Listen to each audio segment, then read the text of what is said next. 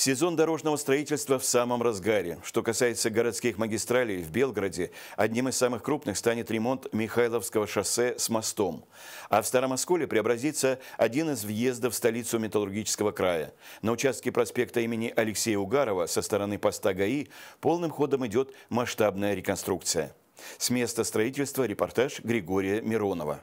Необходимость в расширении этой дороги возникла уже давно. Транспортный поток, проходящий по магистрали, с каждым годом становится все больше. 7-метровой ширины явно не хватает. Проектом предусмотрено уширение проезжей части до 16 метров, по 8 метров в каждую сторону.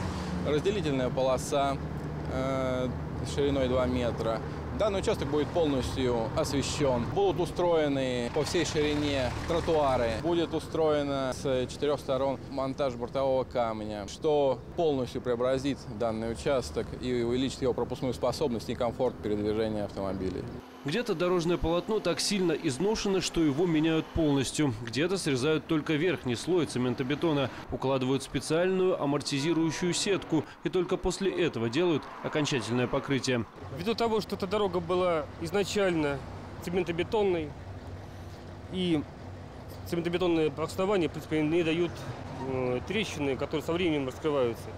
Данная э, технология позволяет предотвратить появление трещин Повсеместное использование современных технологий дорожного строительства позволит реконструируемому участку прослужить намного дольше. Работы ведутся с 5 мая, до их завершения еще далеко. Но водители готовы потерпеть неудобства и даже нахваливают дорожников. Ну, я считаю, делают нормально, видно, качественно. Будем надеяться, что прослужит долго. По договору подрядчик обязан полностью сдать двухкилометровый участок к 1 сентября. Но строители уверены, что справятся быстрее. Все работы планируется завершить уже к концу июля. Григорий Миронов, Сергей Кириченко. Новости Мира Белогория.